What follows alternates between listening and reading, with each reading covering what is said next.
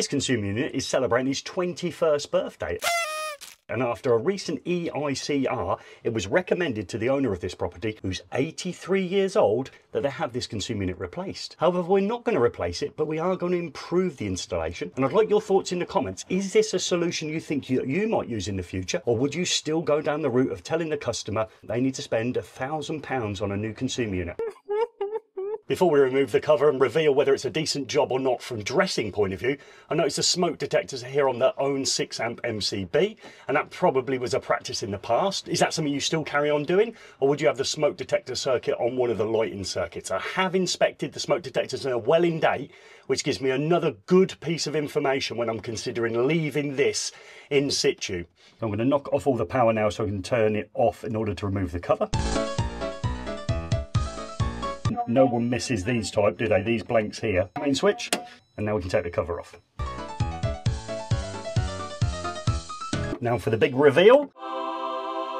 That don't look too bad. One new circuit looks like it's been added there because of the colours. And this was done 21 years ago, so probably the last ever job done in red and black. I've got my approved voltage indicator here, but no proving unit. So this gives me a great opportunity to use the live part of the switch here to prove that my test instrument is working correctly. I'm going to connect first of all onto the earthing conductor and then on to the line connection and I see you have a voltage off the line connection and then we're going to go onto the neutral we get a continuity beep but no voltage off the neutral okay and now I'm going to test between the neutral and line connection and again I have that voltage present so I've proved that my test instrument now is working correctly without the use of a proving unit so I'm going to take this one off and I'm going to prove the bottom section in exactly the same way is now isolated. Happy to use it now, exactly the same process so this time onto the earthing conductor in the bottom of the switch and we are now isolated off the line connection and onto the neutral. So when we go onto the neutral, we're still disconnected off the neutral, off the protective conductor now to the bottom of the switch I'm going to go neutral first and line connection and we have a fully isolated board. I just proved again that this was working on the obviously top of the switch. However, this part is still live and in the next part of the video I'm going to show you a tip that I do in order that I don't accidentally come in contact with these. If you do want some additional instructions on safe isolation,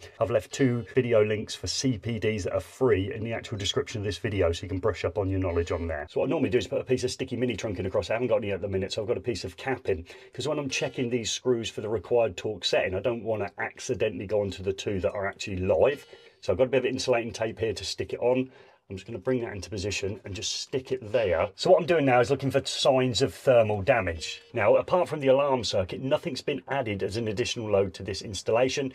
We haven't got an EV charger or any high load current things like electric showers. It's exactly the same bar one circuit as it was when it was first installed. I'd love to now confirm the torque settings are returned correctly before I put the final piece of the jigsaw together that I believe can maintain the life of this installation. I'm just going to do them up to the required torque setting.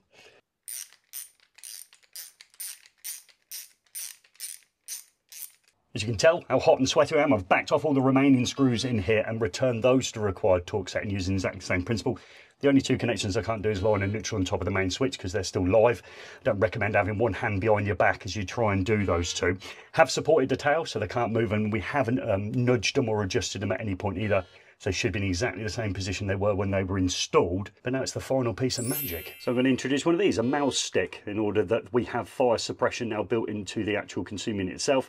We're worried about plastic consumer units, we're worried about fire. Haven't had one for 21 years, checked, tightened everything. I think this will be the last level of support that the actual consumer unit will need. Nice little sticker there so we can leave that on the front to say when it was installed. And then we have the MAUS Stixx as well, which has got a nice little bit of sticky back on the back. So we'll just peel that away and we'll stick that to the inside of the consumer unit lid.